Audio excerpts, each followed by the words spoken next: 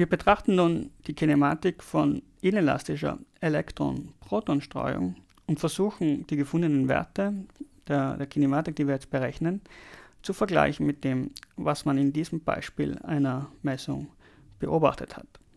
Also hier hatte man äh, aufgetragen den differenziellen Wirkungsquerschnitt als Funktion der Energie des gestreuten Elektrons oder als Funktion der invarianten Masse des äh, gestörten Protonsystems, in dem eben Energie vom Elektron in das Protonsystem gesteckt wurde und damit das Proton angeregt oder aufgebrochen worden ist, da ergibt sich eine invariante Masse des Systems, die größer ist als die Protomasse, die 1 GV ist. Was wir also anschauen müssen, ist wiederum folgender Prozess. Wir haben ein einlaufendes Elektrons, Elektron mit 4 Impuls BE, auslaufender 4 Impulse des Elektrons BE'. Der 4 Impuls klein q wird übertragen auf das Proton mit 4 Impuls BB. Dadurch, dass die Streuung inelastisch ist, wird eben Energie dazu verwendet, um das Protonsystem anzuregen und aufzubrechen in einem allgemeinen Endzustand X, der aus mehreren Teilchen bestehen kann. Der gesamte 4 Impuls dieses Systems bezeichne ich mit Px Schauen wir uns also die Kinematik an. Inelastisch bedeutet im Sinne der Mathematik oder der Kinematik, dass die invariante Masse, und die bezeichne ich mit w das ist also bx des Endzustandes x hier, ist größer als die Protomasse zum Quadrat. Nun, Bx, der Vierimpuls Bx ergibt sich aus der Summe der einlaufenden Impulse hier. Also hier läuft Q ein und B Proton. Das heißt, Bx ist B Proton plus Q. Und damit kann ich sehr schnell W Quadrat berechnen. W Quadrat ist ja gerade Px Quadrat. Das heißt, ich muss diesen Ausdruck hier quadrieren. Erster Term zum Quadrat ist also pp plus 2 mal 4 Skalarprodukt des Proton 4 Impulses und des 4 Impulses des virtuellen Photons. Das ist der ausgetauschte 4 Impuls plus q Quadrat. Nun p Proton zum Quadrat, das ist einfach die Masse des Protons zum Quadrat. Und was ich auch noch verwenden kann, unter anderem ist die Definition, dass, äh, das werde ich später verwenden, Groß Q Quadrat definiere ich einfach als minus klein q Quadrat. Und nun führe ich noch weitere Definitionen ein. Als Variable ν bezeichne ich gerade die Differenz der Energien des einlaufenden und auslaufenden Elektrons im Ruhesystem des Protons. Also im Laborsystem. Das heißt, unser Laborsystem ist jenes, wo für den Protonimpuls gilt, das Proton ist in Ruhe, seine nullte Komponente ist also gerade seine Ruheenergie, das ist die Masse, und der Dreierimpuls ist 0. Wir definieren weiter eine wichtige kinematische Variable, die sogenannte Birken-Variable, ist ein Maß für die Inelastizität, ist definiert als Groß Q Quadrat durch 2 mal P Proton mal Q.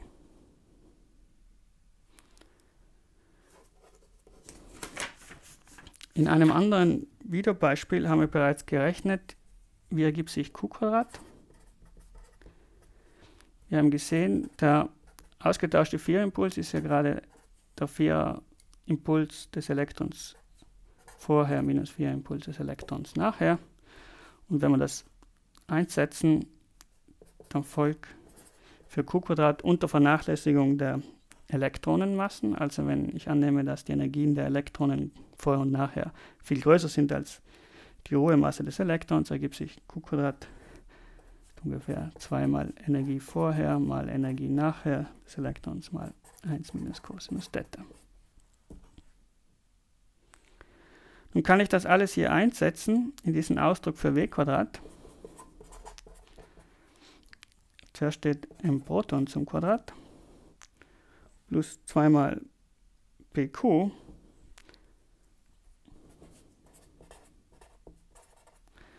und plus q Quadrat heißt minus groß q Quadrat. Jetzt kann ich noch dieses Skalarprodukt hier berechnen im Laborsystem. 2 mal pp mal q ist gleich. Das ist jetzt einfach, weil dieser Vierer-Vektor nur eine nullte Komponente hat. Ich sehe also 2 mal m Proton und q ist gerade, die, die, Null, die nullte Komponente von q ist gerade die Differenz der Energien. Und das ist gerade ν.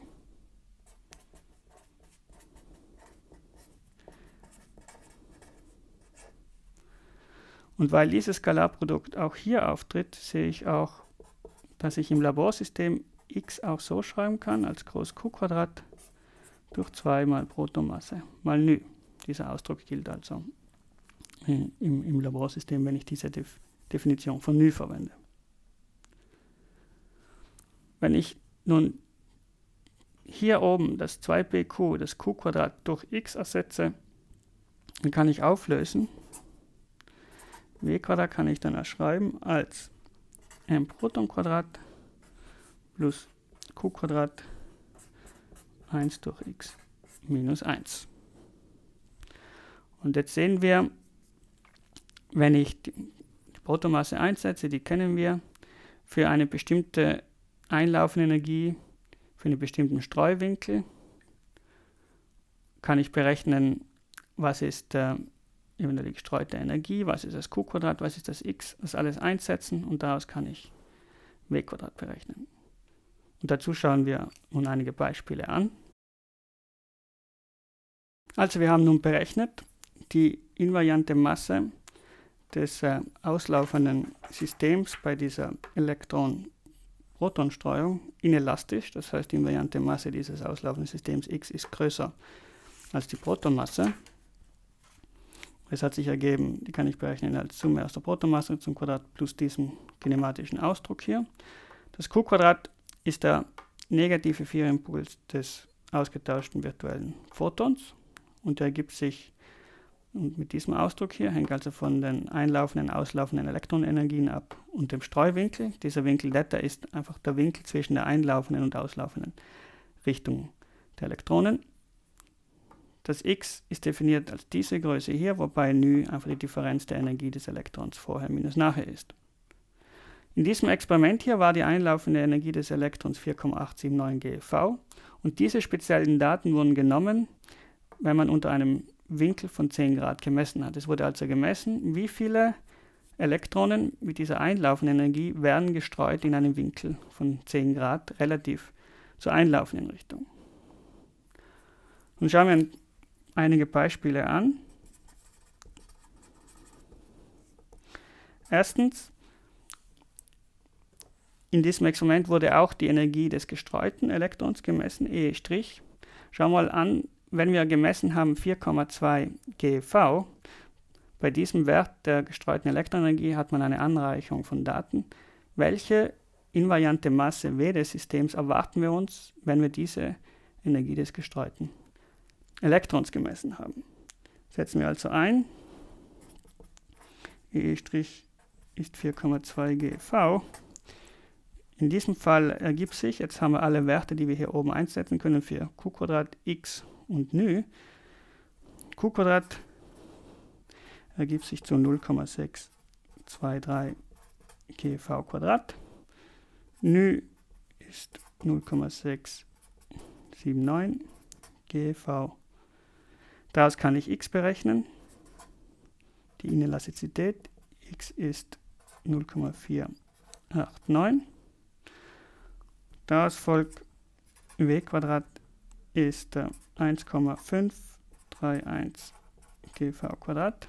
Nehmen wir das oben jetzt einsetzen, beziehungsweise die invariante Masse W, einfach die Wurzel ausziehen, ist 1,237 GV.